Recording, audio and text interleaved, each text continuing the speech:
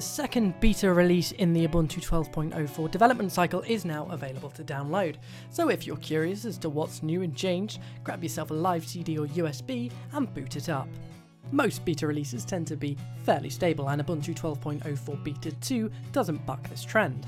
The oft criticised Unity interface now flies along like a hot knife through butter, and the new lineup of Unity lenses are also snappy at delivering up content. On the subject of lenses, Beta 2 sees Rhythmbox support added to the Unity Music Lens. Some people install apps and then don't know how to launch them. To help clarify things for new users, Ubuntu 12.04 includes an application installation animation when installing applications through the Ubuntu Software Center.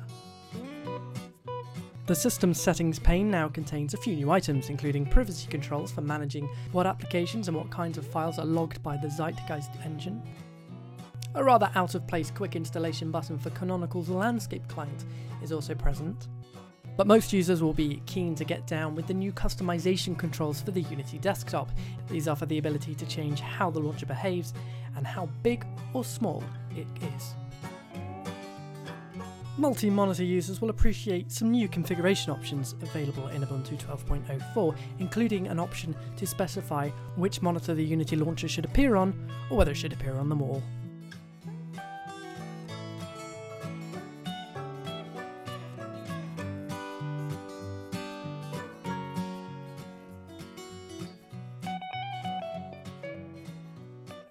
But it's not all roses and doe eyes.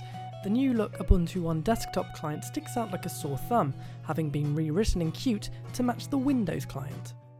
No rundown of the precise pangolin would be complete without having a quick peek at the heads up display. It's one of Ubuntu 12.04's leading features, although it is completely optional. Although once you've started playing with it, it's pretty difficult to imagine life without it.